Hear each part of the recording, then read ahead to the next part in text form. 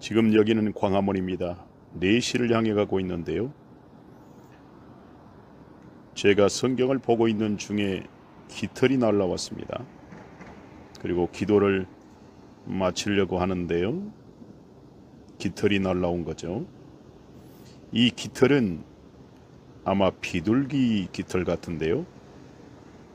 이 깃털이야말로 비둘기의 증거가 되겠습니다. 비둘기가 있었다는 증거가 되겠죠. 우리 예수님의 증거는 성경 말씀입니다. 신구약의 모든 말씀이 예수님을 전하고 있고요. 너희가 영생을 얻을 줄 알고 성경을 상고하거니와 성경은 곧 내게 대하여 증거하는 것이라 이렇게 주님께서 말씀하셨는데요.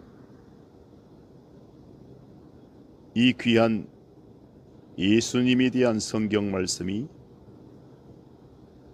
십자가에 달리시고 부활하신 예수님에 대한 확실한 증거가 되겠습니다. 그리고 우리 하나님 아버지께서 우리를 사랑하신다는 확실한 증거가 되겠습니다. 깃털은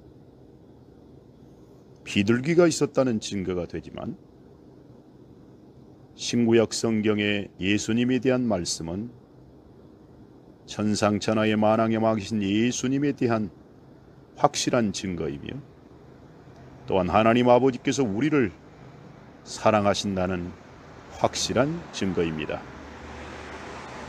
비둘기 깃털을 보면서 다시 한번 확실한 예수님에 대한 증거인 성경 말씀을 생각하게 됩니다.